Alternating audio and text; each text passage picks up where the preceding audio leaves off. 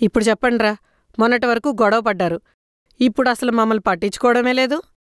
అలా ఏం లేదత్తా work busy ఉండే. అబ్బా మీ ఏజ్ దాటే మేము వచ్చామే.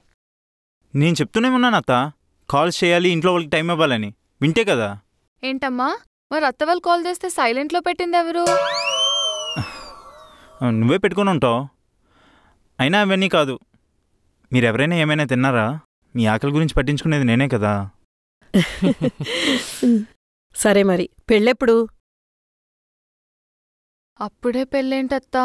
ఎందుకు? పెళ్ళి చేసుకోరా?